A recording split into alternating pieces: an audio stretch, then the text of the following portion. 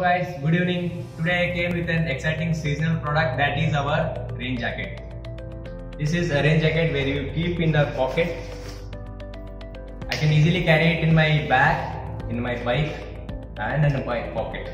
This is the chain how you need to remove. Remove the jacket outside. This is completely waterproof.